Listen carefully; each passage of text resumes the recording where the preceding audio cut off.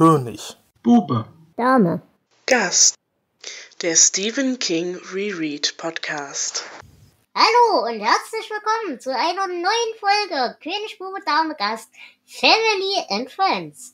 Mein Name ist Dela und bei mir ist die wundervolle Julia. Hallo Julia. Hallo Dela, hallo Flo. Außerdem der Hallo, ihr zwei. Flo. Hallo Flo.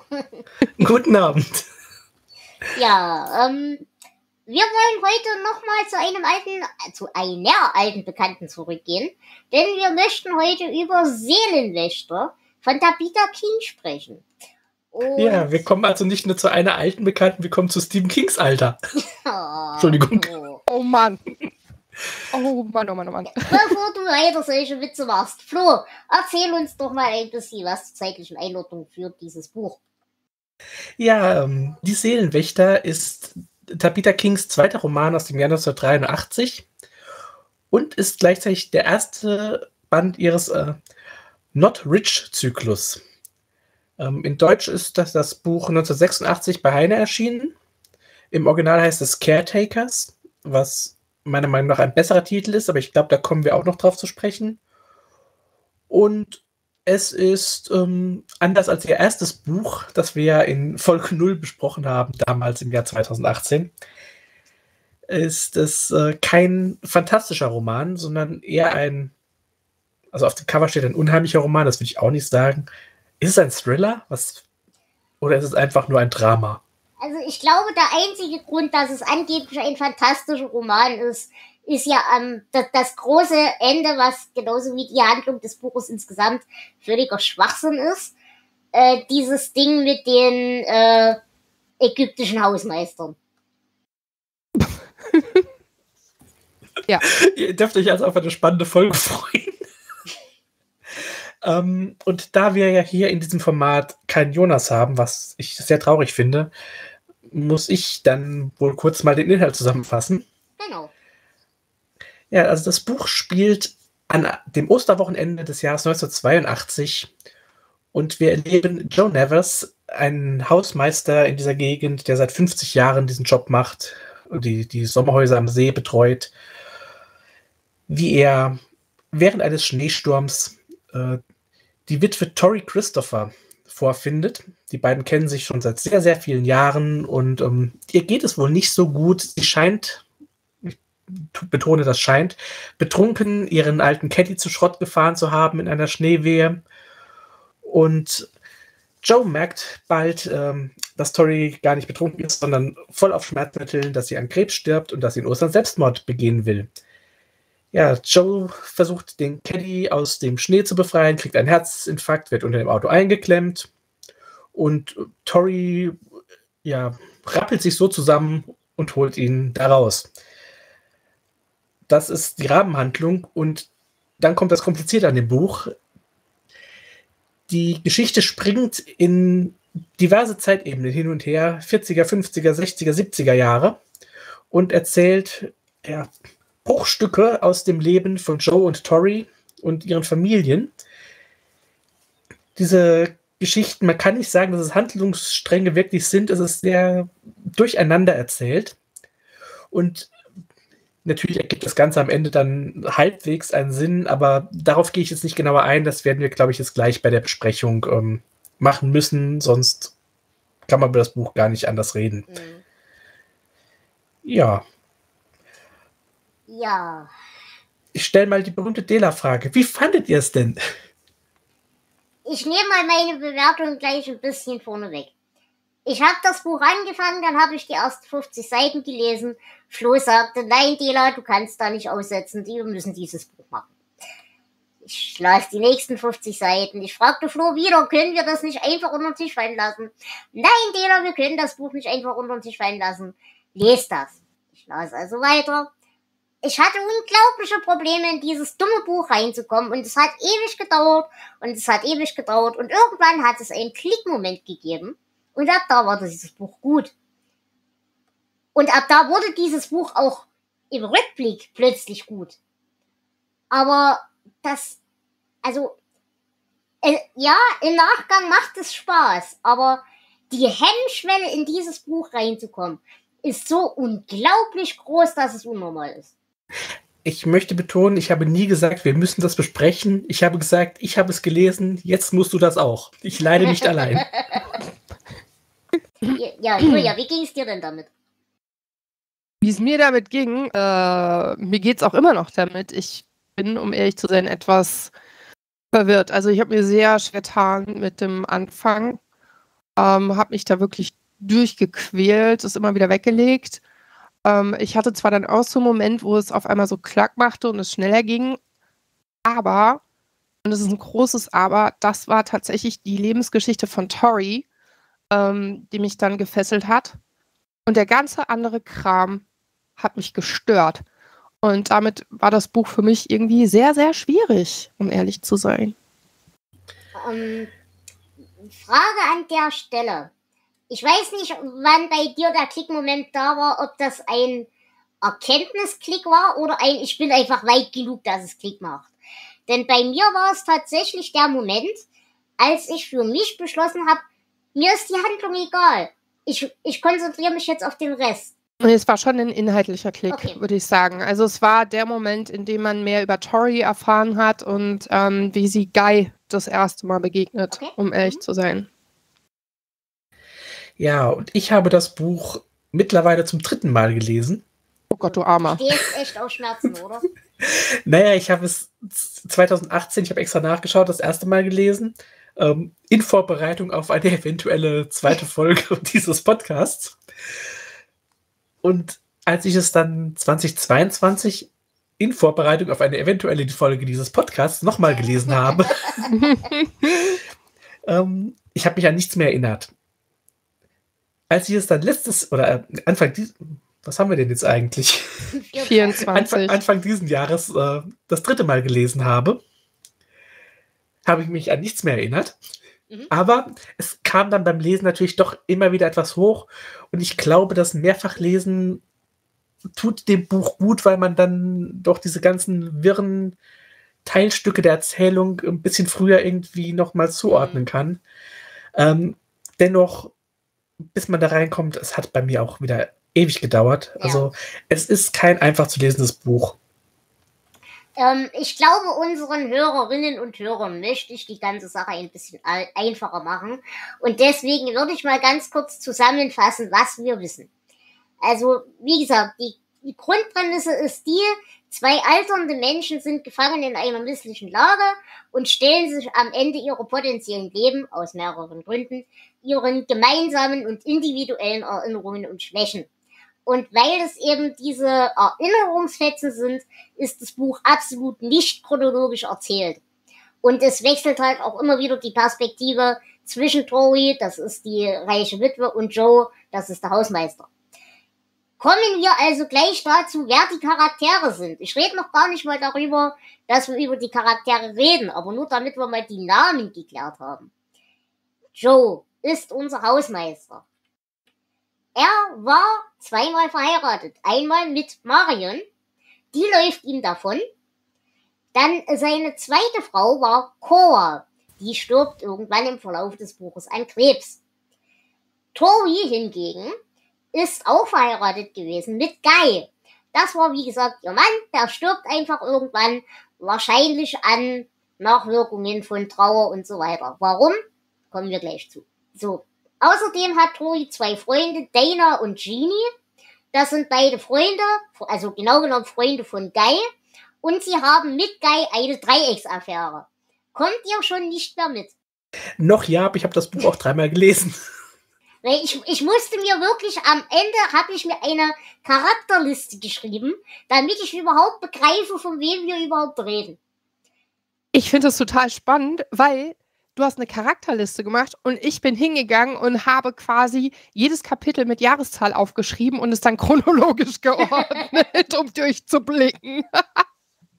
Gut, dann geht's weiter. Tori hat außerdem zwei Söhne, äh, oder hatte zwei Söhne. Einmal Tommy. Dieser Sohn stirbt an Herzversagen, nachdem er beim Baseball sich eine Infektion zuzieht. Auch die dümmstmögliche Art zu sterben, aber egal. Äh, also dieses Kind heißt Tommy und sie hat noch den Sohn David. Dieser ist der zweite Sohn, der scheint, zumindest soweit ich das Buch verstanden habe, äh, bis zum Ende des Buches zu leben. Ja. Und es gibt noch eine Tochter, nämlich India. Äh, deren Vaterschaft ist wohl zweifelhaft. Und sie stirbt auch sehr jung, denn sie wird erschossen von einem unbekannten Menschen, aber wahrscheinlich von Korwa. Also von der Ex-Frau von Joe, als diese noch gelebt hat. Ja. Das hast du schön zusammengefasst. Jetzt blicke ich erst durch. Also ich fand tatsächlich, dass das geholfen hat, aber wenn man schon das erklären muss im Nachgang und mit einem Whiteboard und vielen verschiedenen Schnürchen das verbinden muss, dann ist da einfach was schiefgelaufen im Buch. Absolut. Also äh, ich wollte meinen Eltern erzählen, worum es gerade in diesem Buch geht. Also ich finde es total nett, dass sie sich für mein Hobby interessieren. Ja. So, und es gibt ein, ähm, so ein, so ein Spiel zwischen meinem Vater und mir und zwar nenne den Inhalt mit maximal zwei Sätzen. Mhm. Und ich fing heute an, von dem Buch zu erzählen und er hob seine zwei Finger mir entgegen und ich guckte ihn an und blaffte nur, Papa, ganz ehrlich, mit zwei Sätzen ist es bei diesem Buch nicht getan. Keine Chance. Das Schlimme ist, ich würde dir widersprechen, weil der Inhalt des Buches, den kannst du in einen anderthalben Satz sogar zusammenfassen. Hm. Aber der Inhalt ist halt nicht das, worum es hier geht. Vermutlich, aber ich war noch so verwirrt, weil ich hatte es Mhm. gerade fertig gelesen. Also ich bin ganz frisch heute fertig geworden. Mhm. Und es war für mich einfach nur so ein Wow. Morgen könnte ich es wahrscheinlich auch in zwei Sätzen zusammenfassen. Ich glaube, morgen habe ich es wieder vergessen. Yep. Ähm, ein Teil des Problems, was mir als erstes aufgefallen ist und was ich unglaublich furchtbar fand. Ja, ich weiß, es war zur damaligen Zeit normal, dass die Söhne nach den Vätern benannt werden. Aber dass Torys Vater, Bruder und Sohn Tom heißen, ist literarisch echt nicht hilfreich. Nee, gar nicht. Ich wusste auch irgendwann so, Moment, welcher Tom ist jetzt gestorben? Aber der starb doch irgendwann anders. Ach nee, das war jetzt der Vater. Nee, war es der Bruder? Wer? Wirklich, bin ich bei dir. Nicht gut. Ich meine, gut, sie hat es versucht, gut zu lösen, indem sie verschiedene Spitznamen eingeführt hat. Ja, das stimmt. Ja, ich musste da an eine saarländische Familie denken. Tom. Vater oder Bruder? Ist das nicht das gleiche? Naja, gut, dann lassen wir das. Ach, ach, ach. Aber, ähm, wir haben gerade schon gesagt, es ist wirklich schwierig, über dieses Buch, über die Handlungsebene zu reden. Und Flo, du erinnerst dich bestimmt noch an unsere Folge zu Puppenhaus. Und ich glaube, da hatten wir dasselbe Problem. Da waren wir auch der Meinung, das hätte eine gute Handlung sein können und stattdessen war es ein Furzen Wind. Äh, ja. Und äh, nein, ich erinnere mich nicht mehr so richtig an die Folge. Ich habe die auch verdrängt. aber äh, ja, ich erinnere mich an viel Schreierei. Okay. Oh. Ähm, ja. Wobei das tatsächlich, doch, es hatte Handlung, aber ähm, die war halt kompletter Blödsinn. Und zwar Blödsinn auf der fantastischen Ebene noch. Da ist das Buch dann hier besser. Das ist wenigstens dann realistischer Blödsinn. Ach, ach, ach. Wollen wir, weil eben, wie gesagt, über die Handlungsebene in das Buch reingehen, ist meiner Meinung nach unmöglich. Und deswegen habe ich für mich dieses Buch ein bisschen in Themenblöcke analysiert. Und ich würde gerne anfangen mit dem Thema Charaktere Schrägstrich Chemie. Weil das ist für mich meiner Meinung nach der absolute Pluspunkt an diesem Buch. Wo ich bei Kings Charakteren, also bei, bei Stephen Kings Charakteren, sehr oft wahnsinnige Probleme habe, ein Gefühl für die Charaktere und ihre Beziehung zu kriegen, hat das hier bei mir sofort Klick gemacht. Das war perfekt. Also wir, wir konzentrieren uns jetzt erstmal wirklich auf Joe und Tori. Mhm.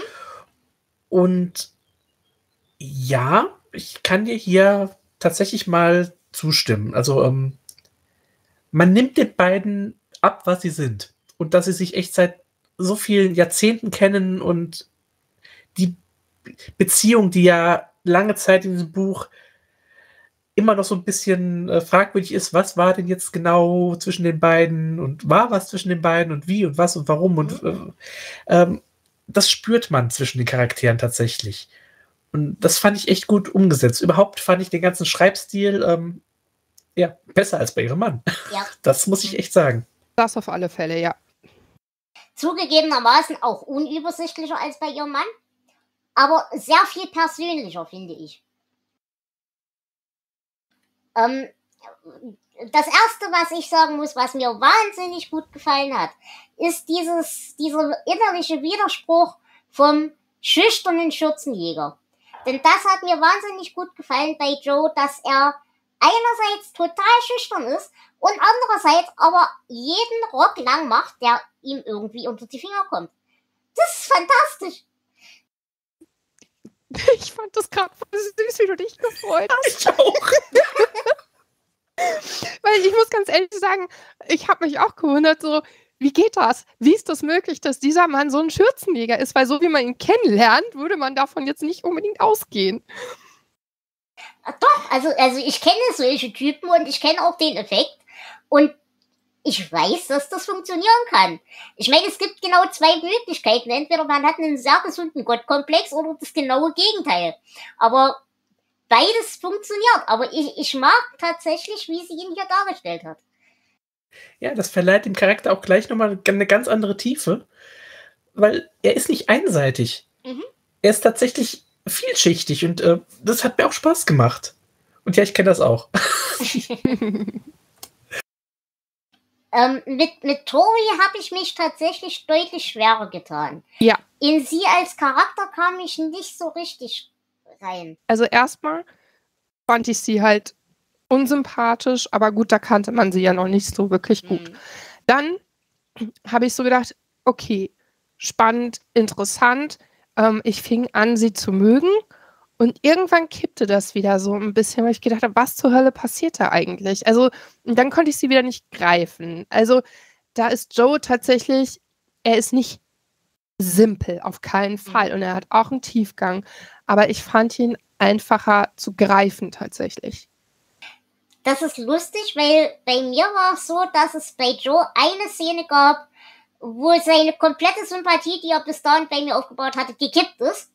Als er Und, seine Frau geschlagen hat? Ja, da kommen wir dann gleich. Aber lustigerweise, gleich im selben Atemzug, äh, hat er diesen Sympathiepunkt nicht zurückgewonnen, aber wieder einen großen Teil Land gewonnen, möchte ich mal sagen, mit seiner Reaktion darauf. Aber wie gesagt, das ist ein eigener Themenblock, ich würde da separat da drauf gehen. Okay. okay. Wobei ich das schwierig finde, das vom Charakter halt zu trennen, aber wir können ja dann wieder ähm, eine Verknüpfung zum Charakter mhm, herstellen. Genau. Ja, okay. Ähm, was bei mir wirklich funktioniert hat, war die Chemie zwischen Joe und Tori. Dieses sexuell aufgeladene, dieses gleichzeitig ungezwungene. Du merkst aber, dass diese ganze Beziehung auf Glatteis gebaut ist, aber eben gleichzeitig von diesem Geplänkel lebt. Und auch ohne, also zumindest mir ging's so, auch ohne dass man den Kontext des Buches kannte, merkt man sofort, dass dieser Oh mein Gott, nein, Joe Nevin, Witz beim Ficken entstanden muss, sein muss. Das, das konnte gar nicht anders sein. Oder ist das wieder nur mein Humor? Vermutlich nicht, aber du erzählst es schön. Ja, du erzählst es sehr schön. Naja, aber habt ihr den Subtext, dass die beiden was miteinander hatten, ganz am Anfang des Buches schon verstanden? Ich war mir nicht sicher. Erst dachte ich so, ja, die hatten was. Dann dachte ich so, nee, scheinbar nicht. Dann wieder ja, dann wieder nein. Und dann kam die Szene, wo sie was miteinander hatten. Und da dachte ich so, ach ja, guck an. Mm, ja, ich war mir auch am Anfang nicht so ganz sicher. Ich meine, jetzt, jetzt beim Lesen wusste ich es dann, aber ähm, so beim ersten Mal, ja, ja, ja, nein, vielleicht doch. Ach ja, jetzt, okay, ja, nein. Nee, also das, das war bei mir eigentlich ab, ab dem ersten Mal, wo dieser Oh mein Gott, nein, Joe Nevin Witz das erste Mal gemacht wird, ab da war mir klar, was zwischen den beiden gelaufen ist oder eventuell sogar immer noch läuft. Und ich muss sagen, Flo, ich weiß nicht, ob du dich daran erinnerst, aber die Beziehung von diesen beiden erinnert mich an die beste Beziehung, die King jemals in seinem Universum äh, erfunden hat. Und das ist die aus Glas zwischen der Schwester des Bürgermeisters und dem Banditen Jonas. Kannst du dich erinnern? Nein, überhaupt nicht. Diese Beziehung bzw. diese Affäre damals in Glas wird charakterisiert wird, äh, mit Sie liebten sich wie Frettchen, wie Katzen, mit Katzen und Beißen und Fluchen. Und, und das ist genau das. Ich finde, die kannst du deckungsgleich aufeinanderlegen, diese beiden Konzepte. Ja, ich, so ganz dunkel erinnere ich mich an, an diese wirklich sehr kleinen Nebenfigur, den Glas. Die war Aber- nicht so klein. Naja, ist ein dickes Buch. Äh, aber aber äh, ja, doch, passt, passt aufeinander. Ähm, wobei, ich würde eher sagen, wie alte Frettchen mittlerweile. also, genau. ja, also es ist nicht mehr so, so ganz offensichtlich, man fällt halt nicht übereinander her, sondern man macht erstmal ein paar anzügliche Witze und dann geht's rund. Aber ja. Ähm, wollen wir vielleicht mit dieser Überleitung gleich in das Thema Alter gehen? Hm, Schade, ich dachte, es so ein Frettchen, aber okay. Denn ich mag es tatsächlich, dass wir hier Charaktere haben, die beide schon etwas älteren Semesters sind und bei denen vor allem auch untereinander noch ein großer Altersunterschied besteht. Das hat mir echt gut gefallen, weil es eben keine verliebten, dummen Teenager sind, sondern beide Menschen mit einer echt heftigen, schweren Vorgeschichte, äh, die dann aber eben, ja, ihren jeweiligen Ballast irgendwie miteinander verbinden. Das hat mir gut gefallen. Ja, ähm, also Joe ist 73, wenn ich mich richtig erinnere, und, und Tori 60. Glaube, ich da ja. richtig? Ja. Ähm, ja, das fand ich auch sehr interessant. Also, m- es ist halt ein Stephen King-Podcast, wir machen halt immer King-Vergleiche.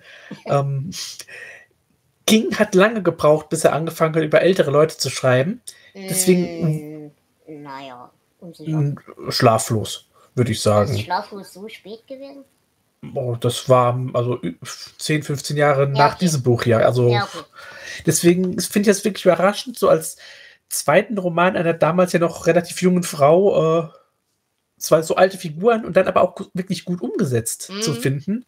Ähm, da hätte ich jetzt nicht mit gerechnet, aber äh, ich war positiv überrascht. Vor allem, weil es auch mal wirklich was anderes ist, als, wie du sagst, immer so die jungen Leute. Und vor allem, dass es eben nicht in die klassischen Klischees abgleitet. Also es ist eben nicht dieses der alte Mann als asexuelles Wesen. Das, genau das ist es eben nicht. Ja, genau. Ähm, was ich auch sehr schön fand, ist, wie wir das Alter nutzen, um die Beschreibung dieses Ortes und der dort herrschenden Hierarchien so ein bisschen zu pushen. Das ist gleich am Anfang vom Buch, als man in dieser, äh, ja, in diesem, wie, wie nennt man das, in diesem Dorfladen, sag ich mal, ist. Und irgendein Typ macht dann äh, einen bösen Witz, von wegen der alte Mann soll sich doch nicht so aufregen, weil sonst kriegt er einen Infarkt und wird erstmal von der halben Belegschaft in diesem Laden zusammengeschissen, dass man nicht solche Witze macht, weil das hat schon ganz andere erwischt und Joe Nevin ist unsterblich, so ungefähr. Und du als, als in Anführungsstrichen Jungspund hast solche Witze nicht zu machen. Das fand ich super. Ja, das hat irgendwie so gleich in diesem, diesem Ort äh, so eine Hierarchie ausgemacht. Genau. ich, also da hätte ich gerne mehr gehabt von. Mhm. Und ich bin gespannt. Also ich werde natürlich die anderen äh, Romane auch noch lesen, so oder so. Ob wir das hier machen, das Mhm. entscheidet sich noch. Ähm, ich bin gespannt, wie man halt in diesen Ort zurückkehrt, was man da noch erzählt bekommt und ob diese Figuren vielleicht auch noch mal auftauchen. Also ich würde mich wundern, wenn nicht. Ich meine, ihr redet jetzt auch von, von Joe und von Tori und von den, Mhm. den ganzen anderen. Aber das hat dem Ganzen auch so ein bisschen Lebendigkeit noch verliehen.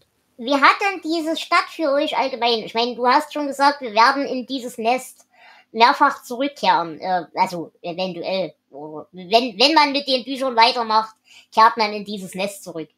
Wenn du es jetzt vergleichst zu einem, sagen wir, Castle Rock oder äh, sowas, war die Stadt für dich lebendig? Mm, Sie hatte gute Ansätze. Ähm, dadurch, dass wir halt auch diese Zeitsprünge haben, Mhm. konnte ich mich nicht so ganz auf die Stadt einlassen, sondern musste mich auf die Haupthandlung konzentrieren, auf die Hauptfiguren. Mhm. Aber das, was ich so mitbekommen habe, hat mir schon gefallen. Also es, es Ja. fehlt noch so der letzte, der letzte Stoß, aber ähm, ja. Und wo du es gerade erwähnt hast, äh, Castle Rock wird ja auch erwähnt als eine Mhm. der Nachbarstädte. Also wir sind nicht so weit weg von dem Werk ihres Mannes. Julia, wie siehst du die Sache? Mit der Stadt? Mhm. Ähm, ich fand, dass hier halt sehr wenig beschrieben wird, aber man kann sich es trotzdem vorstellen, weil die Natur wird beschrieben. sehr intensiv. Ähm, man hat gewisse Anhaltspunkte und vor allen Dingen das Kollektiv ähm, der Bewohner schafft doch Atmosphäre. Also man hat ja nur wenige Vertreter von den ähm, Anwohnern. Also man hat zum Beispiel Cora als Nebenfigur oder die Frau vom Arzt oder diese Geneva, die mal einmal mitgenommen wird, diese alte Dame. Mhm. Und dann auch so im Laufe der Geschichte, wo man immer wieder so Events geschildert bekommt, ähm, wo man einen Einblick bekommt in, in, diese, in diese Community. Und ähm, das fand ich eigentlich sehr schön gemacht, weil man hatte so wirklich das Gefühl, okay, ähm, man kriegt die Atmosphäre mit und ähm, fand ich schon ansprechend soweit oder zumindest realistisch, ja. Mhm. Okay. Ähm, beim Thema Realismus würde ich gleich ins nächste Segment gehen. Wenn ich euch zu schnell bin und ihr wollt noch irgendwo was ergänzen, müsst ihr sagen, ne? Wir schreien dann dazwischen. Mhm. Denn das nächste, was ich sehr realistisch finde, wie hier damit umgegangen wird, ist das Thema Sucht. Denn wir haben hier das Thema Alkoholismus drin, wir haben hier das Thema Schmerzmittel drin und so weiter. Und vor allem die unterschiedlichen Gründe für Süchte. Denn ich finde, Joe trinkt aus Frust und weil ihn keiner aufhält. Und bei Tori ist es im Prinzip was anderes, weil sie trinkt, weil sie Gewohnheitstrinkerin ist, weil sie es auch nur so von zu Hause kennt es gibt dann so eine Szene, wo sie mit ihren Eltern essen geht und ihre Mutter eigentlich zu dem Zeitpunkt schon sturzbesoffen ist, aber offensichtlich noch so weit funktioniert, dass es andeutet, dass sie halt Leveltrinkerin ist und äh, demzufolge das auch nichts Unübliches ist. Und was ich sehr, sehr mag, was ich sehr, sehr zu schätzen weiß, ist, dass hier der Subtext mit drin ist von ein Säufer ist ein Säufer. Man braucht keine Tragödie, um einer zu werden, aber helfen wird's auch nicht. Und ich glaube, da kommt wahrscheinlich wirklich äh, Tabitha als Ehe mit, mit mhm. rein. Mhm. Denn ich meine, mit Alkoholismus und Süchten kennt sie sich, glaube ich, doch sehr gut aus mittlerweile. Mhm. Ja, und gerade auch in diesem Zeitraum, also wie gesagt, ähm, frühe 80er Jahre, da war King ja noch voll drauf. Mhm. Und ich finde es aber, also ich meine, King hat das Thema ja auch ziemlich oft in seinen Büchern untergebracht. Aber ich finde es äh, von diesem Standpunkt aus erzählt zu bekommen, ist wieder noch was anderes. Also King spricht halt aus der Erfahrung eines Süchtigen raus. Aber äh, seine Frau schreibt ja von einem Familienmitglied. Mhm. Also sie kann das Ganze von außen beobachten und hat wahrscheinlich dadurch nochmal einen ganz, ganz anderen Blick drauf. Und gleichzeitig ist sie nah genug dran, um ähm, so die, die inneren Abläufe zu verstehen. Ja, und, und ich glaube, um auch diese ganzen obligatorischen, ohne das negativ zu meinen, Ausreden in Anführungsstrichen, die der Süchtige nun mal hat. Ich meine, Ausreden sind ein Hauptelement von Sucht. Das ist einfach so. Ja. Und Selbstrechtfertigungen. Ähm, und die quasi zu entmanteln und das eben genauso Nein, sie ist nicht Trinkerin wegen der Tragödien, die in ihrem Leben passiert sind. Die war auch vorher schon so. Das hat's natürlich nicht besser gemacht, aber die hat auch vorher schon gesoffen. Das, das finde ich sehr, sehr wichtig und sehr, sehr gut umgesetzt. Ja, ich auch. Also gerade diese, diese Elemente äh, fand ich echt stark in diesem, mhm. in diesem Roman, ja. Das stimmt, auf alle Fälle. Wobei ich es wirklich bei, bei Joe wiederum irgendwie faszinierend fand, dass man von außen, also er hat es von außen so oft gesagt bekommen, dieses, naja, du trinkst wegen deiner schlechten Ehe. Und er hat es immer so ein bisschen so abgetan, hatte ich so das Gefühl. Und das fand ich irgendwie spannend, so dieser mhm. Aspekt, so dem, dem Drumherum oder dem Umfeld ist es schon klar und jeder weiß, woher das kommt. Und deswegen hat man auch so ein gewisses Verständnis dafür. Ähm, während es bei Tori ja schon so dieses, genau das, naja, Gewohnheitstrinkerin halt. Und es ist dieselbe Suchterkrankung. Es sind beides Alkoholiker, aber bei dem einen wird es eher sozusagen zumindest auch in diesem Dorf akzeptiert, weil alle die Frau von Joe kennen. Und bei Tori gerade so als Außenstehende und mit diesem Gewohnheitsalkoholismus ist es nochmal was anderes. Ja, es ist, ist dieser Vergleich, dass, ähm, dass die Umstände scheißegal sind. Mhm. Wenn du säufst, säufst du. Ja, genau das. Ja, und ich meine dieses Thema von externer Rechtfertigung, äh, vor allem, dass der eine ortsfremd ist und der andere nicht. Äh, ich glaube, das kommt in diesem Buch auch an anderen Stellen nochmal deutlich raus. Da kommen wir gleich dazu. Ähm, ich will an der Stelle zum Thema Sucht noch zwei Zitate bringen. Einmal, vor allem der Gedanke, er könne süchtig sein, macht ihm Sorgen. Er war der Überzeugung, dass ein Mann, dessen Wünsche zu seinen Bedürfnissen geworden sind, von sich selbst wissen muss, dass er verloren ist. Das ist für mich ein Satz, der ist absolut on point. Da ist das. Das, das, das fasst das gesamte Grundproblem von Sucht zusammen. Mhm. Und dann hätte ich noch, er hatte beobachtet, dass es Menschen gab, die nicht trinken sollten und manche, die es konnten und zweifellos gab es auch manche, die trinken sollten und es ließen. Und das ist halt auch wieder der Punkt. Man, es gibt so viele, bei denen man es echt verstehen würde, wenn sie saufen würden. Aber sie machen es nicht. Ja. Gut. Dann würde ich jetzt in den richtig großen Themenblock, also es gibt für mich zwei richtig große Themenblöcke und das ist einer davon, nämlich in das Thema Gewalt in diesem Buch gehen. Und da haben wir mehrere, mehrere Momente. Wir haben einmal körperliche Gewalt, also mehrfach körperliche Gewalt. Wir haben psychische Gewalt aber auch, die hier thematisiert wird. Wir haben aber vor allem auch den Umgang mit der Thematik Gewalt. Und das finde ich ist in diesem Buch ein wahnsinnig starker Faktor, den wir dringend besprechen müssen. Habt ihr das denn grundsätzlich als, als Schwerpunkt überhaupt erstmal rausgelesen? Ich habe es nicht als Schwerpunkt gelesen, aber ähm, was mir direkt natürlich aufgefallen ist, ist dieser Unterschied, ich komme wieder auf King, dieser Unterschied zwischen der Gewalt in einem Horrorroman, die ja meistens vorhanden ist und die ja meistens blutig und grausam ist, und zwischen dieser hier beschriebenen, teilweise auch ziemlich auf die Spitze getriebenen alltäglichen Gewalt. Mhm. Und ähm, ja, das ist irgendwie auch bedrückender, dieser Umgang hiermit, als wenn jemand in Stücke gerissen wird. Also, mhm. ja, ja. Gut. Ähm, ich fange mal an. Wir haben erstens, also, nein, Moment, bevor ich anfange. Wir reden jetzt über das Thema Gewalt, wir reden an dieser Stelle auch über das Thema sexuelle Gewalt.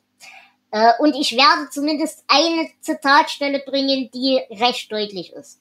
Deswegen an der Stelle, wenn ihr mit diesem Thema ein Problem habt, ich mache ja Kapitelneugen, überspringt vielleicht diesen Teil. Weil der könnte euch eventuell psychisch ein bisschen treten. Deswegen kleine Warnung an der Stelle. Aber wir fangen an mit incestuöser sexueller Gewalt. Denn die wird hier nicht deutlich beschrieben, aber doch beschrieben. Als Carol, also die Ex-Frau von Joe, ähm, ich glaube schon im. Äh, Cora. Äh, ja, Cora, Entschuldigung, natürlich. Ja. Äh, Cora, ich glaube sogar schon im Endstadium ihrer Erkrankung, ähm, von ihrem Vater erzählt und wie der versucht hat, sexuelle Annäherungsversuche ja, von sich zu geben, bis er von ihrem Mann dann tatsächlich äh, ja einmal ordentlich verprügelt worden ist und sie sich auch selber gewehrt hat. Nein, das stimmt nicht. Korrektur. Sie selber hat sich gewehrt und hat ihn äh, entsprechend in die Weichsteile getreten. Ihr Mann war, glaube ich, zu dem Zeitpunkt, also ihr erster Mann war zu dem Zeitpunkt, glaube ich, schon tot. Äh, ja, ich, ja?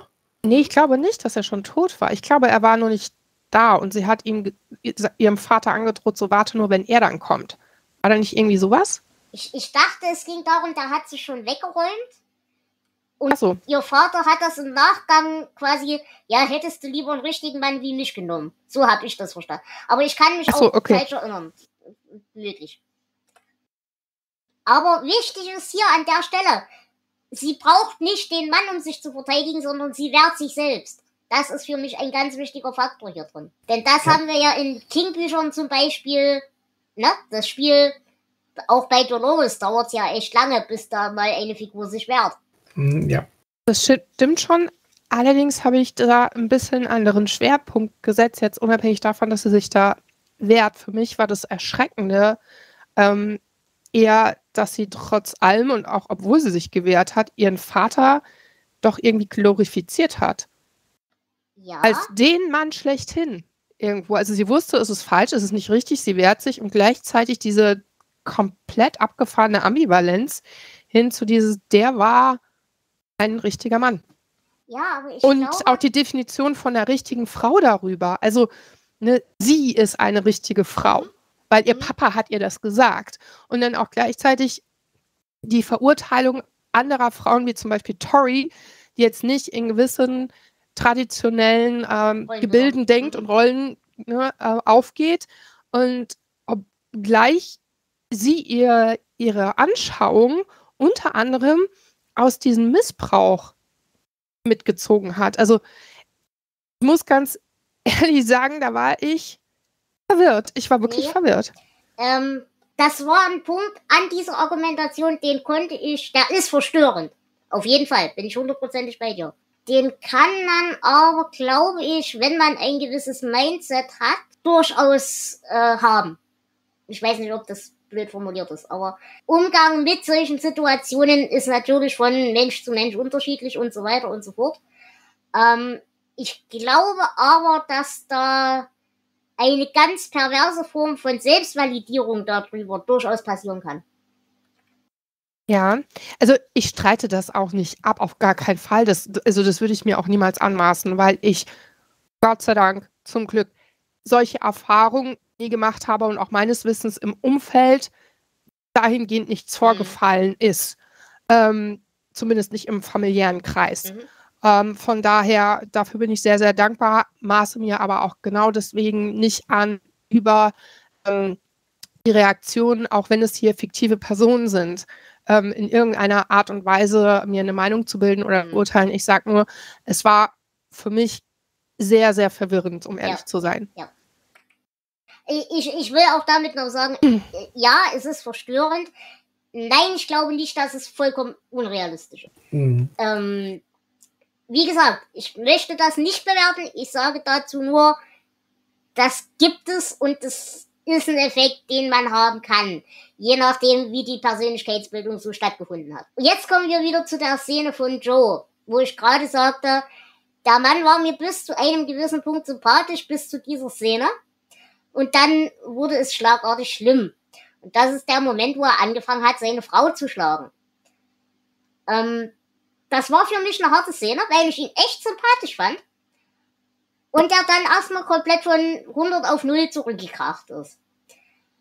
Aber der Moment, wo es ein bisschen wieder für mich Land gewonnen hat, ist, dass er nicht nur sich schlecht fühlt, dass er es getan hat.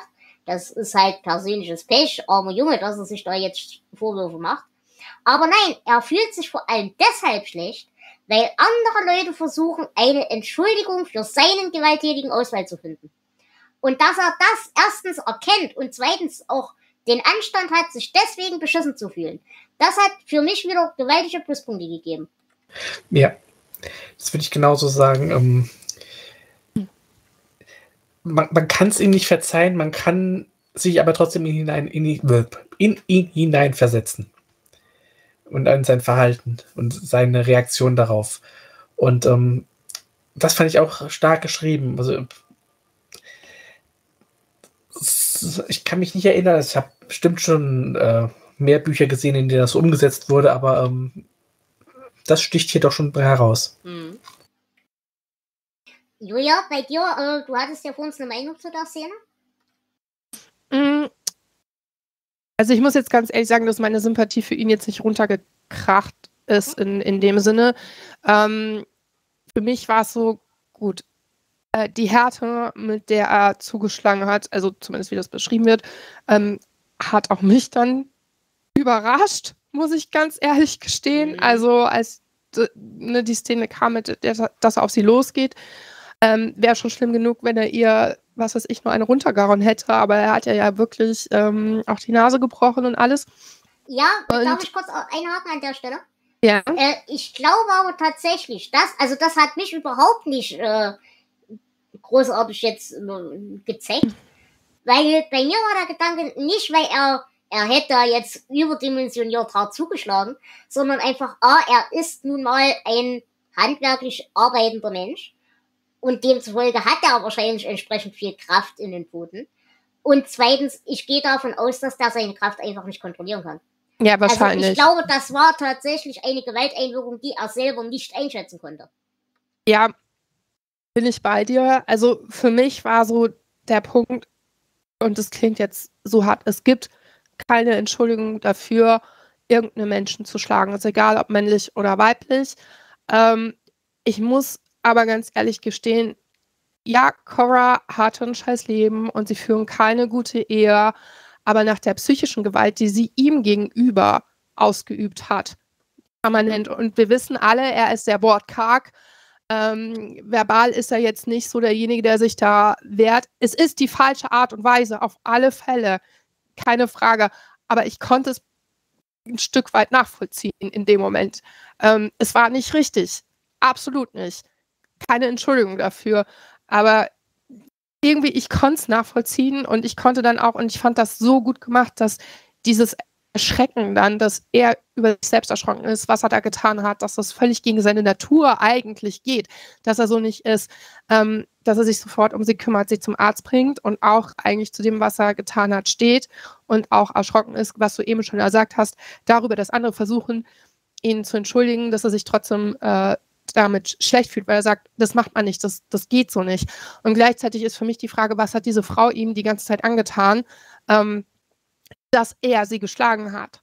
Ohne, ja, natürlich ist es falsch und natürlich hätte man ihn anzeigen müssen und natürlich, weißt du, was ich meine? Ja, ja, ja. Und gleichzeitig war das so, und irgendwo und so ein kleines bisschen hat er mir so ein bisschen auch, auch leid. Also, und damit fühle ich mich Mhm. jetzt irgendwie nicht gut, weil er hat eine Frau geschlagen. Und es Das- ist gleichzeitig so ein, oh Mann, Joe, wie konntest du? Ja, und gleichzeitig ist es so dieses, ah.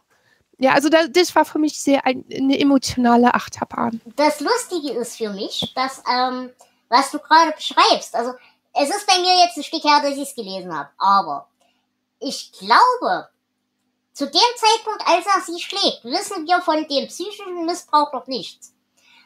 Deswegen hat es für mich funktioniert, dass seine Sympathie für mich erstmal komplett in den Boden gefallen ist. Ah, okay, nein, ich fand Cora schon vorher total furchtbar. Ja, furchtbar fand Ich ich, auch. sie auch. Und, Furchtbar und ich sie dachte, auch. ich dachte die ganze Zeit, was ist das denn von, wie geht die denn mit dem um? Was ist das denn für eine Schnepfe? Mhm. Und vor allen Dingen, was, was hat er ihr denn jetzt getan, dass sie die ganze Zeit auf ihm rumhackt? Also da habe ich schon eher so ein bisschen ähm, gemerkt, dass sie quasi zumindest bis zu diesem Punkt, wo er die Hand erhebt, zumindest verbal der aktive, gewalttätige Part ist. Oder zumindest habe ich es geahnt und deswegen dachte ich so, ja, okay, das ist jetzt nicht sonderlich verwunderlich. Ich denke aber, das ist ein generelles Problem bei diesem Buch. Zumindest Mhm. für mich. Ähm, aber wir haben es ja schon angedeutet, diese permanenten Sprünge, die scheinbar dafür da sind, um irgendwie Spannung aufzubauen, irgendwelche Fässer aufzumachen, irgendwelche Mysterien heraufzubeschwören und du sitzt irgendwann nur noch da und denkst dir so, what the fuck, wer ist diese Person, wo ist das Problem, dann kommt das nächste, du hast das, was Mhm. irgendwie 100 Seiten vorher war, schon wieder vergessen, auf einmal taucht das auf und genau das ist vielleicht auch der Punkt so an dieser Stelle. Also ich hatte Mhm. Cora da noch so im Kopf, deswegen war es für mich jetzt nicht so schlimm, aber ich hatte es an anderen Stellen, wo ich gedacht habe, was zur Hölle ist hier los? Ähm, Ja, das, ja, das Problem hattest nicht nur du. Ähm, das, das ist das, was mir das Buch. Also, muss auch wieder aufteilen. Das erste Mal, zweite Mal, dritte Mal gelesen. Ähm, beim ersten Mal habe ich das gelesen, habe gedacht, was zum Teufel will die Frau von mir? Warum hüpft sie so hin und her? Später wusste ich es und es hat mich trotzdem noch gestört. Mhm. Ähm, aber man weiß, wo es drauf hinausläuft. Und das ist dann ein Punkt, da muss ich sagen, das hat jemand besser gemacht. Also Ja. gerade, sagen wir mal, Es oder sowas, das hüpft er ja auch hin und Ja, her und hin und ja. her. Und da hat, kommt man aber mit. Und das, hier, das Buch hat mich hier öfter abgeschüttelt. Das ist wie so ein Hase, der so, so hin und her läuft und äh, Haken schlägt. Mhm. Genau, ja. Und interessantes Stilmittel, aber wenn es den Leser irgendwann abschüttelt, ist es vielleicht nicht ganz richtig umgesetzt. Ja, bin ich komplett bei euch. Aber ich glaube tatsächlich, gerade dieses, diese Szene und die, die Beziehung zu Cora wird für mich, also ja, die ging mir auch auf den Sack. Die ging mir aber noch nicht auf einen Maßstab auf den Sack, wo ich sie schlagen wollte. Der Punkt war dann für mich, ähm, und das, das ist, glaube ich, das, wo die Erzählstruktur relevant wird. Wir fangen an mit, die ist nervig. Dann fangen wir an von das ganze Dorf erzählt Joe die ganze Zeit, deine Frau ist schuld, nicht du. Deine Frau ist schuld, nicht du. Der erste Mann hat sie schon umgebracht, daran war die schuld. Du bist nicht schuld, die ist das Problem. Also es wird permanent von diesem Dorf quasi auf ihn eingeredet, eingewirkt, deine Frau ist das Problem und nicht du. Was für mich als Leser natürlich heraufbeschwört, was ist das für ein Dorf voller Arschlöcher? Und dann kommt für mich der wichtige Punkt, das ist, als wir Koras Tochter kennenlernen. Und Koras Tochter, die auch eine Außenstehende ist, hat genau dieselbe Meinung über ihre Mutter wie alle anderen. Und damit wird für mich diese ganze Szene zwischen Cora und Joe nicht relativiert, aber in Kontext gesetzt. Eben genau dieser Punkt von die biestige Mutter und Frau, die permanent und permanent und permanent psychisch Gewalt ausübt, bis ihr physisch Gewalt angetan wird. Das hat für mich, gerade weil es so dippeldappel in Schritten sich angenähert hat der Wahrheit, für mich perfekt funktioniert. Ah, okay, ja gut. Also wie gesagt, ich hatte schon vorher das Gefühl, dass die psychische Gewalt aus psychische reden ist um die Uhrzeit auch nicht mehr so einfach, merke ich. Ähm, also ich habe es schon gemerkt und für mich war das dann quasi so ein bisschen so die Bestätigung. Also ne, gerade wenn dann so, mhm. auch wenn es eine außenstehende ähm, war anfangs. Sie hat sich doch etabliert in der Gemeinde und hat zumindest Freundinnen gefunden. Und der Großteil hat ja immer wieder gesagt, sie ist schuld. Es gab aber auch welche, die gesagt haben, so, mm. und dann kam die Tochter. Und dieser erste Satz, den sie da Cora dann um die Ohren gehauen hat, so, so ne, hast du ihm dasselbe angetan wie meinem Vater und ne, wo ich gedacht habe, okay, okay, es war wirklich wohl schlimm. Und ähm, ich muss ganz ehrlich gestehen, vielleicht bin ich da auch so ein bisschen ähm, sensibler, was psychische Gewalt in einer Beziehung anbelangt, ähm, weil ich einst eine Freundschaft zu einer Frau hatte. Es war eigentlich meine beste Freundin, deren Mann ähm, massive psychische Gewalt ausgeübt hat, ähm, bis ich erstmal dahinter gekommen bin, weil das ist so manipulativ teilweise. Also das ist so hinterfotzig, was da teilweise mhm. abläuft. Das glaubt man nicht. Und ich habe mich dann auch irgendwann erwischt, wo ich gedacht habe, boah, ich möchte ihm so dermaßen eine aufs Maul hauen, das kannst du dir nicht vorstellen. Und ihr kennt mich, ich bin kein gewalttätiger Mensch, aber wo ich gedacht habe, noch ein Spruch und ich ramm dir echt die Faust ins, ja, selbst wenn ich danach von dir die Prügel beziehe, weil ich einfach so außer mir war und so hilflos und so diese, diese, es ist so übermächtig gewesen, diese Gewalt, die da Tag für Tag auf sie herniederprasselte und dann irgendwann auch bei mir landete. Ähm, deswegen konnte ich es vielleicht auch auf eine andere Art und Weise mhm. in dem Moment nachvollziehen, ähm, weil es einfach furchtbar ist. Ja, es ist furchtbar. Ich bin bei dir. Ich glaube, das ist aber, ich komme aus einem ähnlichen Kontext. Ähm, da ich aber glaube, dass ich von relativ jungem Alter an ein relativ hohes Level gewöhnt war, fand ich eben den Anfangsteil von Joe, die, der schlimm ist, den er da durchmachen muss. Aber den fand ich bis zu dem Zeitpunkt noch in, in meiner Warte als, ja, die ist nervig, ja, aber noch nicht an dem Punkt, dass ich es schlagen muss. Weißt du, wie ich meine? Ja, ich verstehe. Aber ich war wahrscheinlich schon so misstrauisch an dem Punkt, mhm. so dieses, was ist vor passiert? Was hat sie gemacht? Weil man hat ja schon gemerkt, das Unangenehm ist ein Joe Nevers, der so ausgeglichen ist. Mhm. Weißt du, was ich meine? Yeah. So alles hinnimmt, sich verbal nicht größer äußert, angesehen ist gut. Man weiß auch, dass die, die angesehen sind, in der Gemeinde nicht unbedingt die sind, die das Ansehen haben sollten. Ja. Aber es war trotzdem, wir haben ja Joe anders kennengelernt ja. und es war für mich so, what the fuck, was ist da abgelaufen? Wie hat sie ihn drangsalieren müssen, dass er an diesen Punkt gekommen ist. Und dann war es für mich quasi so dieses, oh ja, okay, als dann die Dorfgemeinschaft Aha. sich geäußert hat, der Arzt, ja, Tochter von ihr, wo ich gedacht habe, okay, es war wirklich schlimm. Also für mich war das eher so eine Bestätigung mhm. ähm, meiner Befürchtung, die ich schon hatte. Gut. Ähm, und jetzt müssen wir aber nochmal zu der Stelle kommen, wo es wirklich hart wird für mich. Und wo ich auch sagen muss, wir sagen die ganze Zeit, Joe ist verbal jetzt nicht so auf der Höhe. Das ist gelogen. Also, äh, es gibt eine Szene, gerade als äh, er seine Frau da zum Arzt gebracht hat, mit dem Arzt, mit dem er ja seit Jahren befreundet ist, und die Frau des Arztes ihm sagt, äh, wenn du die noch einmal anfasst, zeige ich dich an und so weiter. Und er antwortet ihr, und ich zitiere an dieser Stelle, Glenn und ich sind schon Freunde, seit wir noch kurze Hosen anhatten. Das alleine hat mich davon abgehalten, dich beim ersten Mal, als ich dich gesehen habe, zu vergewaltigen. Ja. Okay. Mhm. Und jetzt wird's aber noch besser. Es geht nicht nur um diesen Satz. Die Reaktion darauf von ihrem Mann auf Joes Satz ist, ich hoffe, du bist nicht beleidigt. Doc grinste und legte sich dabei die Hand vor den Mund. Ach Quatsch. Ich muss mich mit Hope einmal unterhalten, wenn wir nach Hause kommen. Ich sehe, dass sie nicht genug zu tun hat. Ich muss mich im Gegenteil bei dir entschuldigen. Die Sache geht sie nichts an und sie hat nicht das Recht, ihre Nase in andere Leute Angelegenheiten zu stecken. Pass nur auf, dass du ihr nicht eine fegst. Wer weiß, was dich das kosten würde. Also, das war eigentlich für mich die härteste Stelle im ganzen Buch, bin ich ehrlich. Okay.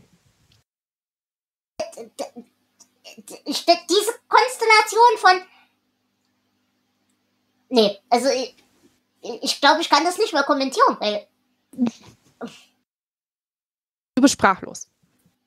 Ich weiß, dass der Umgang mit Gewalt eine gewisse ein gewisses Selbstverständnis in dieser Zeit hat, in dem es spielt. Das sehe ich alles ein. Aber trotzdem ist der selbst für diese Zeit echt hart. Also, der, Ma der Typ beleidigt oder der Typ droht der Frau seines Kumpels mit Vergewaltigung, beziehungsweise macht einen Witz, dass er sie nicht vergewaltigt hat, weil sie ja Kumpels sind. Und die Reaktion des dazugehörigen Mannes ist, sich zu entschuldigen. Und die Frau hat ja nur nicht genug, die hat nicht genug Auslastung. Wollt ihr mich? Ja, okay. Gut. Das nur dazu. Aber euch ist diese Szene nicht total aufgefallen? Ähm, nee, um ehrlich zu hm. sein, nicht so ganz. Also aufgefallen, ja, aber ich habe sie dann auch relativ schnell wieder genau. ähm, vergessen. Ähm, lag vielleicht auch daran, was er gesagt hat war absolut nicht in Ordnung. Absolut nicht. Geht gar nicht. Ähm, auch nicht als Witz, war heftig. Ähm, gleichzeitig habe ich das gelesen, wie, ach, wie, wie sage ich das jetzt, ohne dass es irgendwie falsch klingt? Das ist das Problem. Ähm, dieses, wir haben es mit zwei Männern zu tun, die mit zwei sehr eigenwilligen Personen verheiratet sind, nennen wir es mal so euphemistisch, wirklich euphemistisch ausgedrückt, ja. Und Sehe die. Ich gar nicht, aber okay, red weiter. Ich finde sowohl Cora als auch Hope absolut, also gehen gar nicht. Und, aber das ist gut, meine Meinung. Ja, und ähm, für mich ist es halt der Austausch quasi von einer gewissen Wehrhaftigkeit irgendwie, ähm, die nicht okay ist. Also der Umgang mit dieser Situation und dieser Umgang damit ist nicht richtig für uns als Leser, absolut nicht. Ähm, aber ich habe es jetzt nicht so gewichtet wie du, um ehrlich zu okay. sein. Ich sehe das äh, so wie Julia. Also ja, es ist mir auch aufgestoßen, aber im Kontext des ganzen Buches ist es nicht hängen geblieben bei mir. Da fand ich andere Sachen krasser, um ehrlich zu ja. sein. Was ich, was ich lustig finde, und da kommen wir dann gleich zu die einer der Szenen, die ihr wahrscheinlich meint. Ähm, Gerade dieser Umgang mit Gewalt in dieser Szene ist für mich eine perfekte Spiegelung, weil wir haben die Szene, wo Cora verprügelt wird und der Täter wird von allen in Schutz genommen. Und im nächsten Moment haben wir eine Szene, wo Tori verprügelt und vergewaltigt wird, woraufhin ohne Umwege zwei Männer ohne Umwege sofort sehr, sehr deutlich werden gegenüber dem Täter.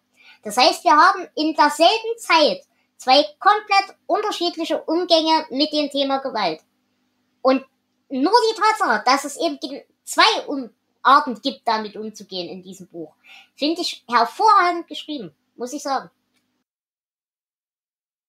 Ja, das habe ich schon quasi auf eine Art Generationswechsel mhm. ähm, zurückgeführt, um ehrlich zu sein. Okay, legitim. Ja, für mich war das, ähm, wir haben ja vorhin schon diese, diese unterschiedliche Blickpunkte auf die Figuren angesprochen. Auch schon beim Trinken zum Beispiel.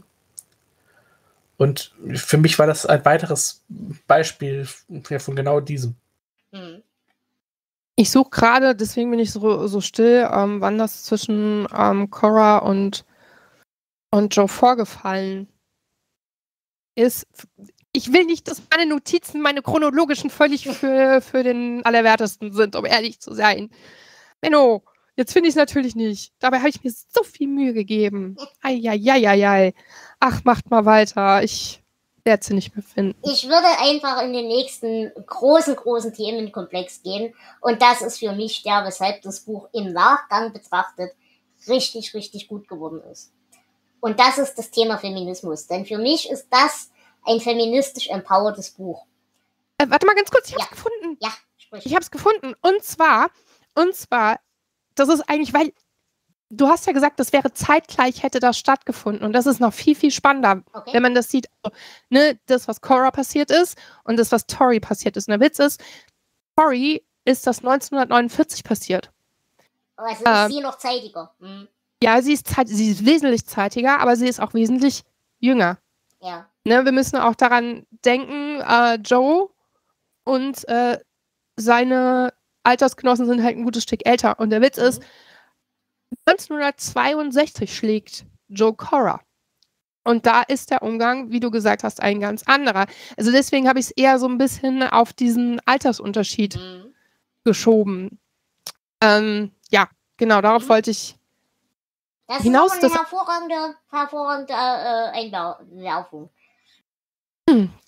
Genau, also ich, ich glaube, wir haben es hier tatsächlich so ein bisschen mit so einem Generationswechsel zu tun und der Umgang mit ähm, Gewalt, mit sexualisierter Gewalt und ähm, dass sich das bei denen, bei den Älteren vielleicht auch nicht unbedingt, nehmen wir es mal, verwachsen hat. Mhm.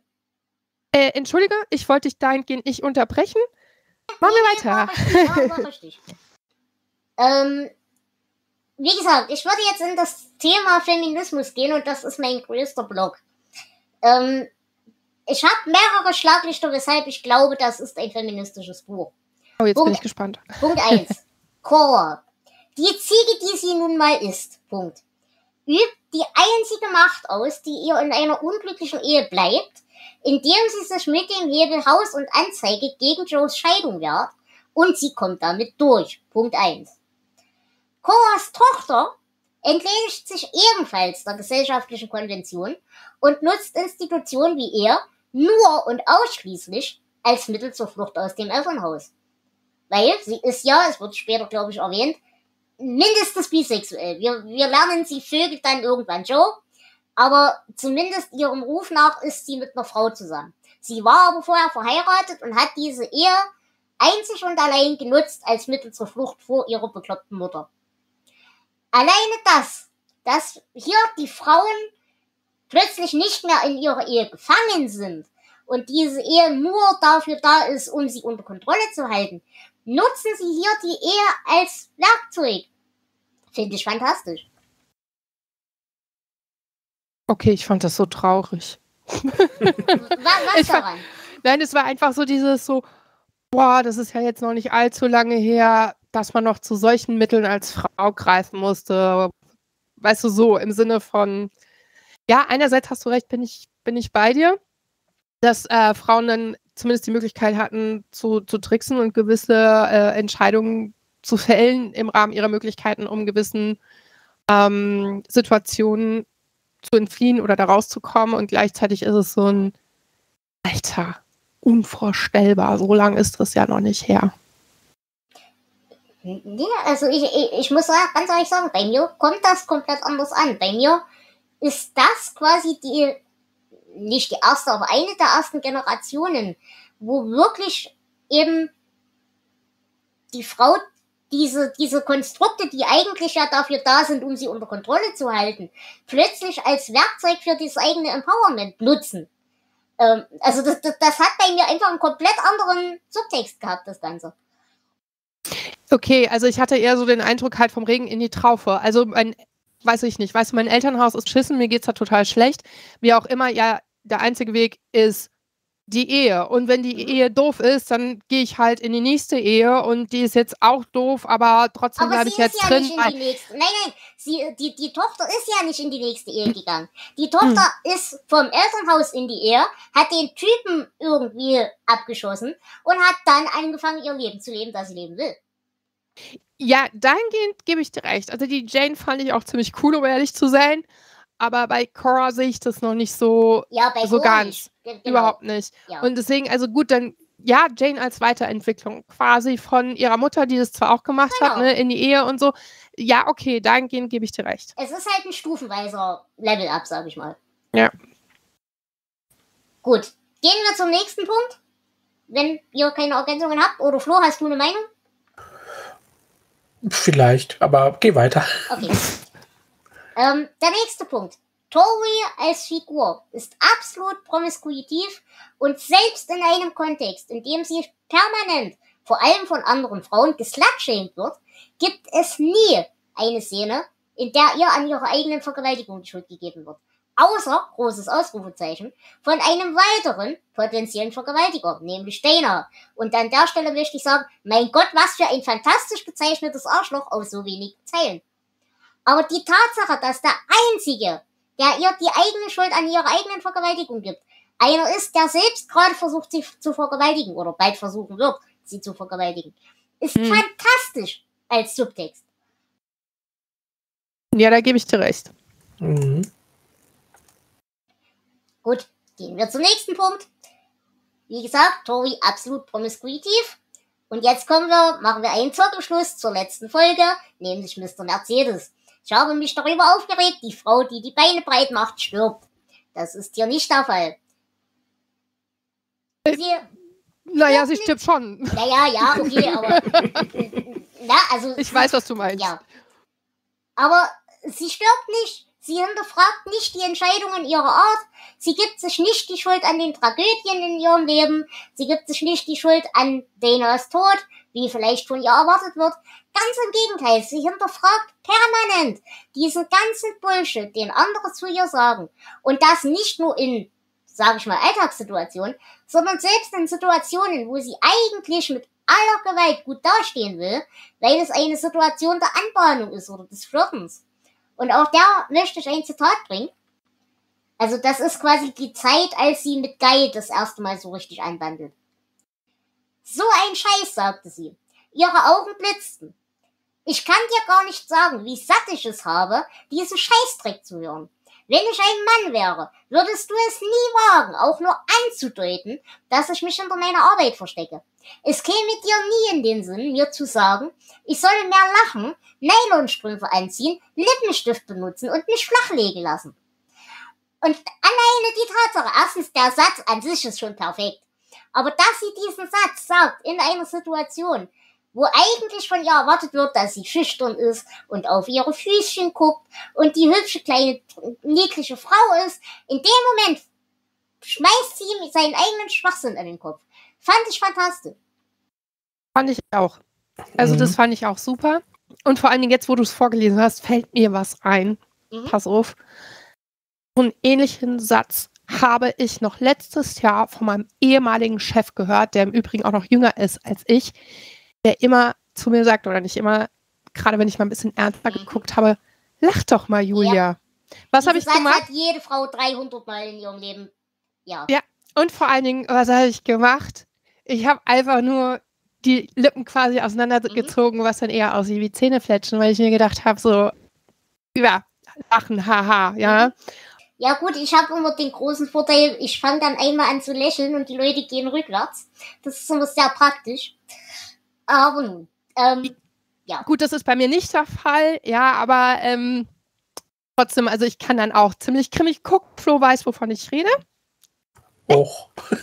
Och, so schlimm bist du gar nicht, außer wenn du keinen Kaffee hattest. nein, Ähm, also, wie gesagt, mir, ja. ist, mir ist mal gesagt worden, ich kann Leute zu Tode lächeln. Oh, wow. Ja. Okay, darüber müssen wir uns wann anders unterhalten, weil ich will wissen, wie das geht. Ich glaube, der Punkt ist einfach, dass ich allgemein ein verstörendes Erscheinungsbild habe, das dann noch verstärkt wird. Aber, okay. Echt? Ich finde dein Gesicht so hübsch, Dela. Oh. Muss ich an der Stelle sagen. So. Gut, ähm, gehen wir weiter, weil ich weiß nicht, wie ich mit um Komplimenten umgehe, aber vielen Dank. Äh, aber generell, ich mag Tori und ich mag ihren Umgang mit Männern. Der macht wirklich, wirklich Spaß. Und ganz besonders so der Beginn ihrer Affäre beziehungsweise dieser Beziehung mit Guy. Der ist wirklich progressiv, der ist wirklich unüblich, gerade für die damalige Zeit. Und der macht echt, echt Spaß. Und vor allem die Tatsache, dass er da auch mitmacht. Na? Also so dieses, sie weigert sich, ihn zu heiraten und so weiter und so fort. Und er ist damit völlig fein und das ist kein Thema. Das wird nur zum Thema gemacht durch zum Beispiel ihre Eltern oder andere Leute. Ja, und das ist es halt. Sie knickt halt immer wieder ein, was ich nachvollziehen kann. Also wie oft, gut, es lässt Gott sei Dank nach, aber wie oft, ich weiß jetzt nicht, wie es bei dir ist, Dela, bin ich zum Beispiel auch, als ich jünger war, dann eingeknickt, weil ne, die Gesellschaft will es so oder was auch immer. Ich muss sagen, meine Eltern spielen da jetzt nicht so die Rolle. Ganz ehrlich, also die haben mich immer da sehr machen lassen und so. Ähm, aber ich kann es nachvollziehen und gleichzeitig hat es mich gerade bei Tori so ein bisschen gestört. Weil es war so dieses, wie du gesagt hast, sie, sie steht so für sich selbst und immer wieder dieses Aufbäumen und ähm, sie selbst sein und dann knickt sie doch ein. Und ja. es ist realistisch und vielleicht ist es deswegen so unangenehm manchmal. Das würde mich jetzt, Flo, deine Meinung interessieren. Liest du das als Einknicken? Mm, ja, schon ein bisschen. Ähm, mein Gedanke war gerade aber bei dem, was Julia gesagt hat, mit dem realistisch und deshalb unangenehm. Ich ja. glaube, das trifft auf das ganze Buch zu. Ja, ja. Das, ähm, man kann es nicht einfach so abtun wie die nächstbeste Horrorgeschichte, weil dazu ist es, ja, da geht es doch ein bisschen zu nah. Äh, lustigerweise, ich habe das bei ihr nicht als Einknicken gelesen. Dazu muss man auch sagen, bei mir ist generell das Problem, oder nicht das Problem, aber ich habe das relativ wenig, weil erstens die gesellschaftlichen Erwartungen, die an mich als Person herangetragen worden sind, sind andere als die, die an eine normale, durchschnittlich attraktive, gesunde Person, Schrägstrich Frau, herangetragen werden. Das heißt, bei mir ist eigentlich nicht unbedingt dieser Fokus auf, ja, du bist jetzt 30, wann wirst du denn endlich mal heiraten? Bei mir ist nie der Fokus gewesen, ja, wann kriegst du denn endlich mal Kinder? Na, diese, dieser ganze Quatsch. Das heißt, diese gesellschaftlichen Zwänge, denen der Normalbürger sich so aussetzen muss, die sind bei mir generell deutlich runtergedreht. Wofür ich auch sehr dankbar bin. Und zweitens bin ich blöderweise, glaube ich, für solche Sachen auch relativ unempfindlich weil mein Gottkomplex beschützt mich da, glaube ich, davor, weil ich mach's ja richtig, die anderen sind nur blöd. Ähm, von daher, aber ich habe Tori tatsächlich nicht gelesen, als sie knickt ein vor dem gesellschaftlichen Druck, sondern die Frau weiß einfach selber zwar zu großen Teilen, was sie will, aber gleichzeitig in ganz anderen Punkten wieder hat sie dreimal über das Thema nachgedacht und hat dreimal eine andere Meinung dazu. Und wenn sie dreimal eine andere Meinung hat, handelt sie auch dreimal unterschiedlich. Hm, das habe ich jetzt weniger so gelesen. Interessant. Ja. Ich denke nach. Deswegen bin ich so still. ähm, ich würde an der Stelle vielleicht erstmal weitermachen. Ja, ja, ja, ja. Weil auch das ist ein Punkt, den liebe ich an diesem Charakter. Ich liebe es, wie absolut pragmatisch und unemotional sie ist. Weil ihr Mann zerbricht am Tod ihres Sohnes. Sie macht weiter. Ihr geht das nah, aber sie macht weiter. Sie verliert das Mädchen. Sie leidet darunter, aber sie macht weiter.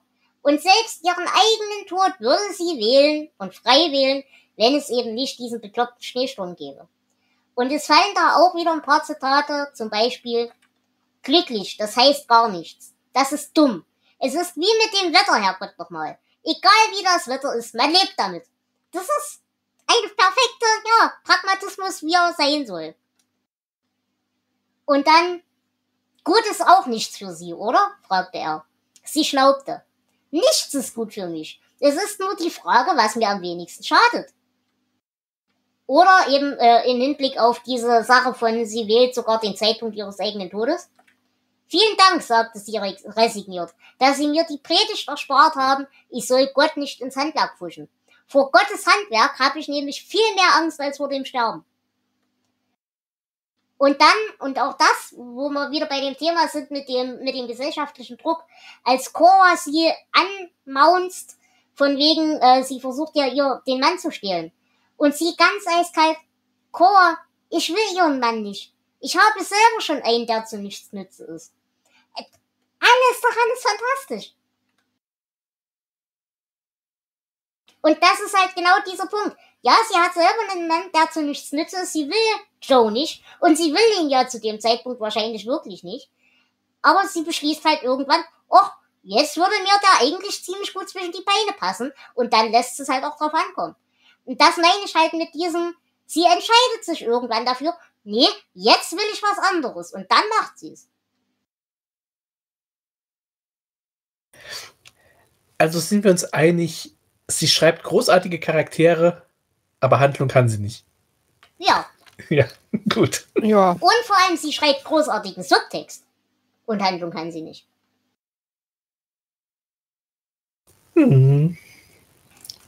Einen letzten Punkt hätte ich noch. Und das ist der Punkt äh, mit India.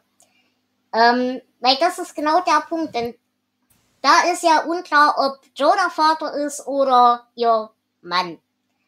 Und ich mag die Idee von, das ist meine Tochter, das ist mein Kind, das ist nicht das Kind der Väter, das ist mein Kind. Ich bin die Mutter, das ist mein Kind. Und eben nicht diese ganze Definition über, wer hat da mal irgendwo was reingehalten. Und dieses ganze Anspruchsdenken. Ja, ich finde Anspruchsdenken auf Kinder als Mutter genauso schwierig. Aber unter Hinblick auf, das ist ein feministisches Buch, ist das hier ein Meilenstein. Ähm, ich kann dir sagen, äh, India ist tatsächlich, also, also Joe hat sie gezeugt. Mhm. Das ist tatsächlich der Fall, aber ich gebe dir recht, ich finde es auch großartig oder fand es beim Lesen großartig, die ist so, das ist meins. Ja. Doch egal, wer der Mhm. Vater ist. Ja, ähm, ich bin da, das ist meine Tochter. Deal with it. Genau. Gut. Jetzt habe ich sehr viel geredet. Ich bin aber jetzt auch tatsächlich durch. Also, ich habe alle Punkte, die ich aus diesem Buch rausanalysieren konnte, rausanalysiert. Habt ihr Ergänzungen, Dinge, über die ihr noch reden wollt?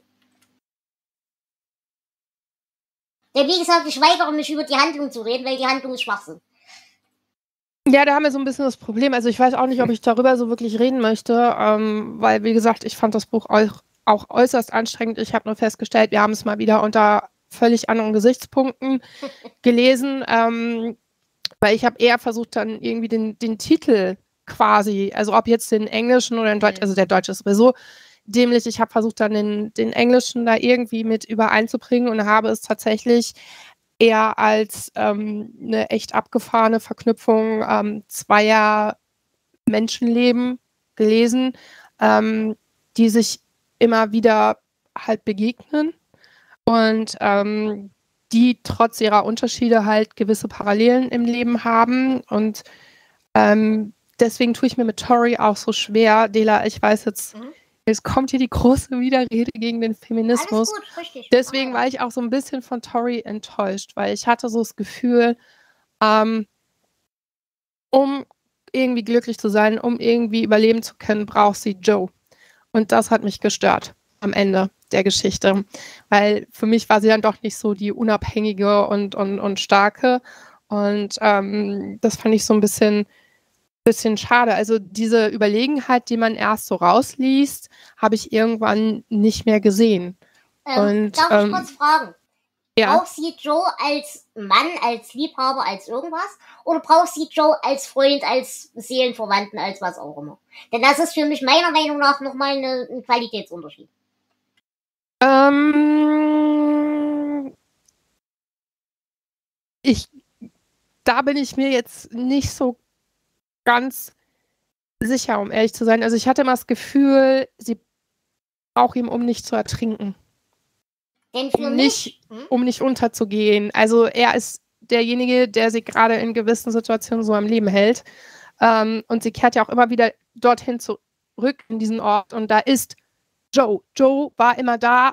Joe ist immer da und Joe wird immer da sein. Das hat sie ja auch so für sich Mhm. entschieden. Also als sie Mhm. auch sich entscheidet, sie wird sich suizidieren, genau. ist sie davon ausgegangen, Joe ist weiterhin dort und Joe wird sich um alles kümmern. Also Joe ist so die, diese, weiß ich nicht, die Stabilität, die er sonst im Leben fehlt. Und das kann man nach so einem Leben absolut verstehen, dass gewisse ähm, Grundlagen einfach nicht so stabil sind wie bei Mhm. manch anderen.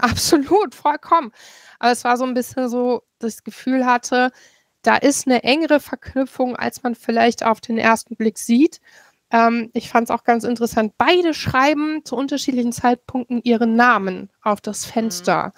Ähm, du hast immer wieder dieses, ähm, dieses, ja, wir begegnen uns, wir gehören irgendwie zusammen, wir sind verknüpft. Also deswegen habe ich das unter ganz anderen Prämissen. Also Ja. die eine erfährt die Gewalt, er erfährt eine andere Gewalt, sie begeht Gewalt, er begeht Gewalt. Also immer, es ist so eine gewisse Parallele im Endeffekt, obwohl es auf anderen Ebenen stattfindet, aus anderen Gründen. Und sie kommen halt immer wieder zusammen. Und ähm, ich habe so ein bisschen so das Gefühl, dass gerade sie so diejenige dann doch ist, ähm, die ihn irgendwie mehr braucht. Warum auch Ähm, immer. Ja, ich gebe dir grundsätzlich recht, aber für mich braucht sie ihn nicht als Person, für mich braucht sie ihn als Möbelstück. Ist, für mich ist eher sowas wie der Katalysator für ihren Lebenswillen. Ja, genau. genau. Ja. Also aber da ist es völlig irrelevant, ob er ein Mann ist, ob er überhaupt Genau. eine Person ist. Er Genau. ist quasi für mich die animierte Variante dieses Ortes, dieses Hauses, dieser ihrer Vergangenheit. Er ist ein Katalysator ihrer Vergangenheit und deswegen das einzige Zugangstor, das sie zu sich selbst noch hat. So würde ich es lesen. Ja, und gleichzeitig hat sie ihn aber auch völlig falsch eingeschätzt. Das wird ja auch klar. Und das ist so dieses, ich weiß nicht, Mhm. irgendwas am Ende wurde es auch so ein bisschen, ja, und dann widmet sie ihm im Endeffekt auch noch ihren allerletzten wissenschaftlichen Artikel, den sie schreibt, auch wenn sie ihn nicht namentlich erwähnt.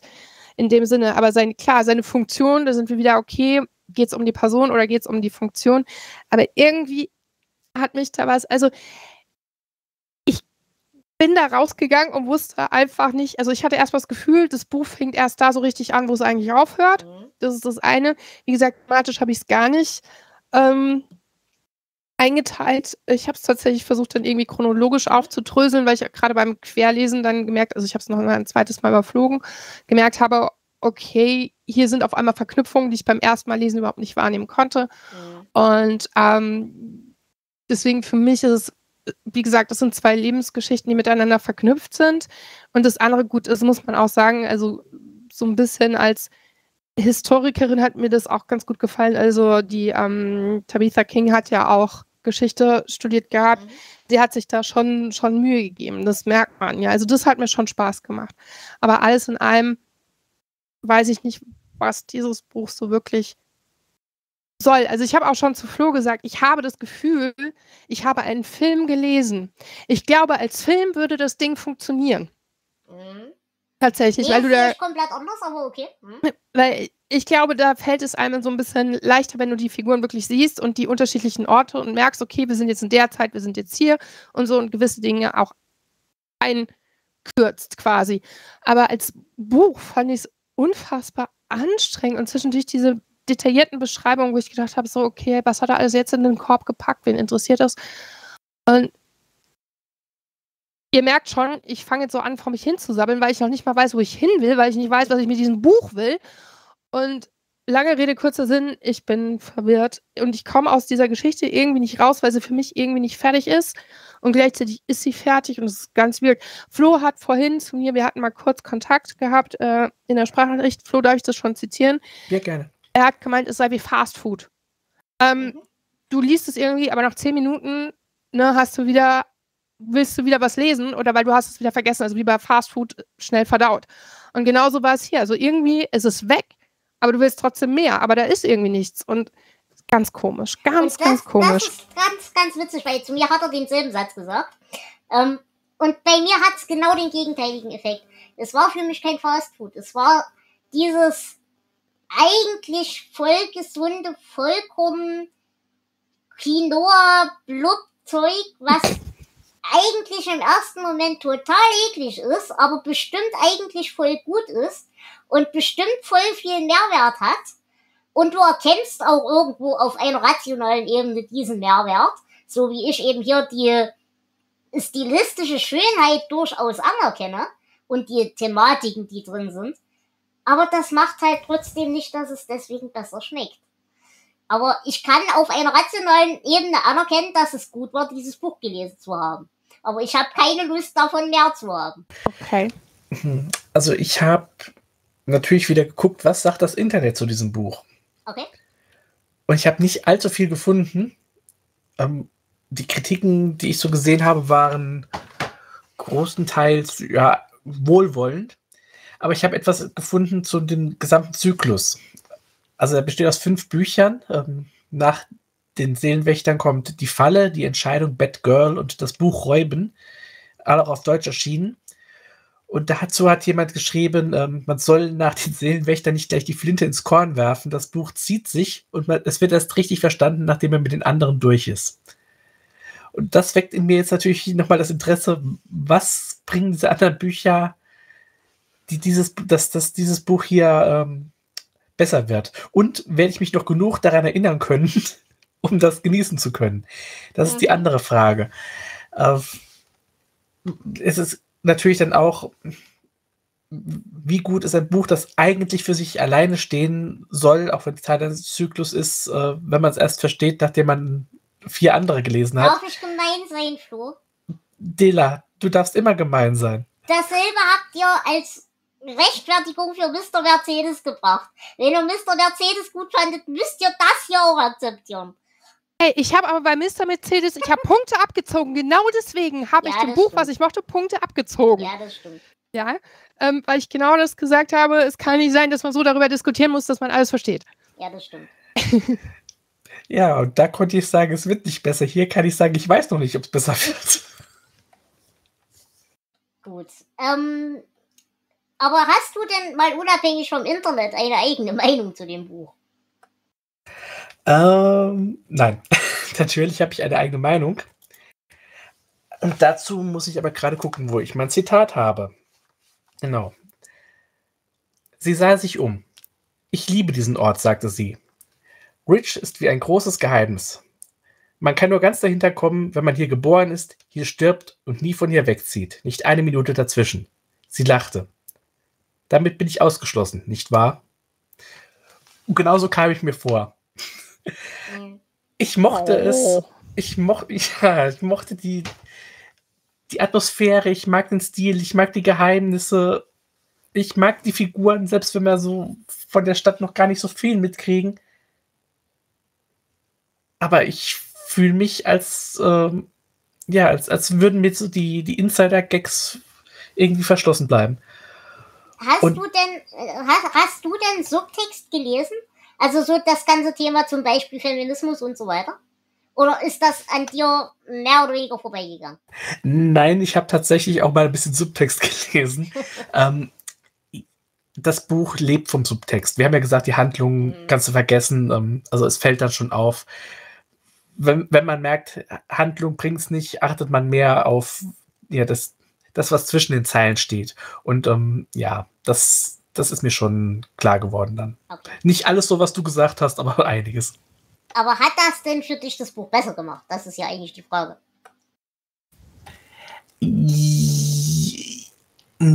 Ja, aber ich glaube auch wirklich erst nach dem zweiten Lesen. Okay. Also nach dem ersten Lesen, vielleicht liegt es auch einfach daran, dass ich einfach zu frustriert war von diesem Buch. Ähm, ich weiß nicht mal, ob ich es weiterempfehlen würde, aber wenn, dann sollte man es wirklich mehr als einmal lesen, damit man äh, durchblicken kann. Okay.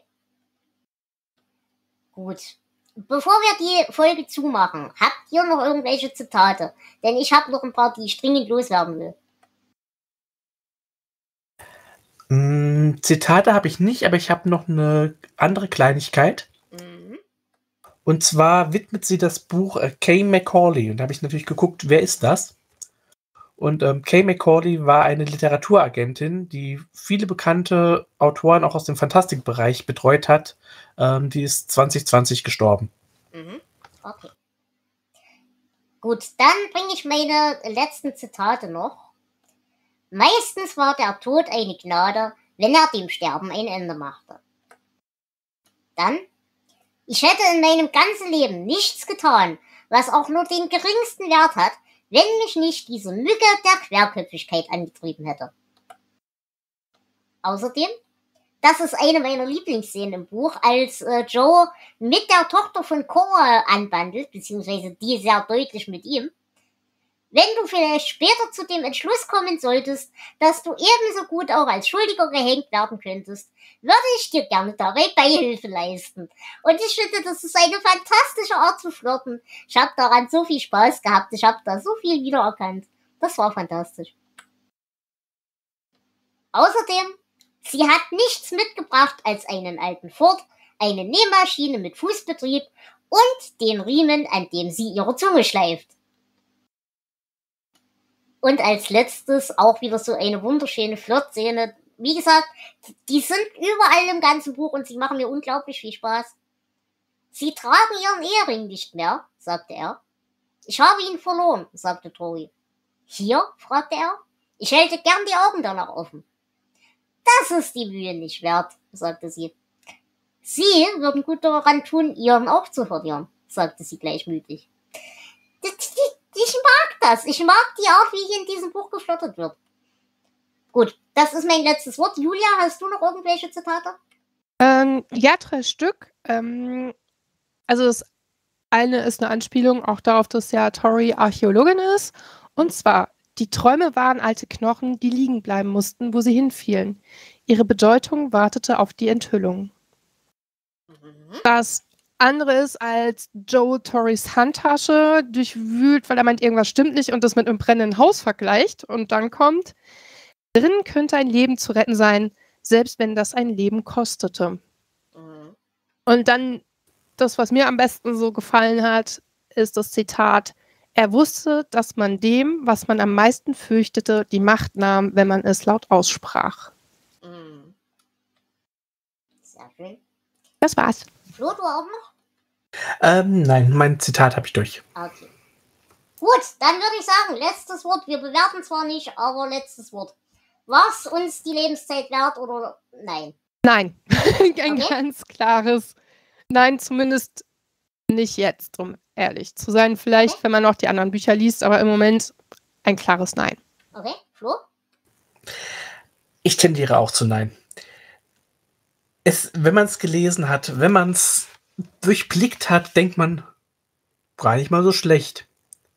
Und am nächsten Tag hat man es vergessen. Und das ist es dann nicht wert. Also, nein. Äh, ich würde ja sagen, es war die Lebenszeit wert. Weil ich mag, wenn sich Menschen die Mühe machen, Subtext zu schreiben und Subtext gut zu schreiben. Und King macht das sehr selten. Deswegen bin ich sehr dankbar, dass sie es getan hat. Allerdings wäre ich noch dankbarer, wenn sie dabei nicht komplett vergessen würde, eine Handlung zu schreiben. Aber ich bin trotzdem nicht böse, dass ich mich dann doch durchgequält habe. Ob ich mich durch weitere Bücher von ihr quälen werde, ist noch nicht raus. Das besprechen wir off-air. Genau. Und in dieses ominöse Off-Air würde ich mich jetzt auch von euch verabschieden. Es war mir wie immer eine Ehre, dass ihr zugehört habt. Ich bedanke mich bei dir, liebe Julia. Es war sehr schön mit dir. Ja, sehr gerne, liebe Dela. Wie immer ein Fest mit euch. bedanke mich außerdem bei dir, lieber Flo. Es war großartig mit dir, wie immer. Es war wieder eine Ehre. Danke. In diesem Sinne. Wir hören uns demnächst. Wir werden über weitere Family and Friends Folgen reden. Und ansonsten geht's auch im regulären Podcast demnächst weiter. In diesem Sinne, habt viel Spaß, lasst es euch gut gehen. Wenn ihr äh, Schürzjäger seid, seht zu, dass ihr euch nicht erwischen lasst. Und ansonsten macht einfach das, was ihr denkt. In diesem Sinne, tschüss. Ciao. Tschüss.